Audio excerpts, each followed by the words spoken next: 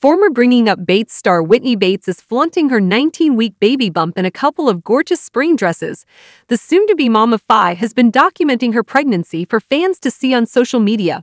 Her latest stunning looks captivated fans' attention, of course. Scroll down to get all of the details about Whitney's baby on the way and check out her cute spring outfits. Zach and Whitney Bates' family is growing again. In case you missed the news, around Valentine's Day, Zach and Whitney shared with fans that their fifth baby is on the way. The couple already has two songs, Bradley and Jaden, and two daughters, Cassie and Chloe. They have now revealed that baby number five is a girl.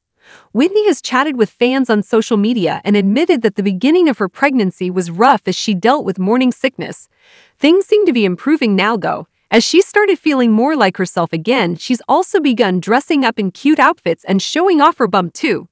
Check out the Bringing Up Bates star's 19-week baby bump. On her Instagram stories, Whitney Bates shared a few photos of her family celebrating Easter. In one photo, Zach and Whitney posed for a gorgeous photo outside together.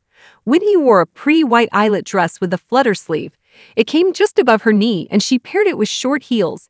It looks like she, Zach, and all four of their kids had a great time together. In addition, on the Bates Sisters Boutique Instagram page, Carlin and Whitney modeled some of the dresses for sale.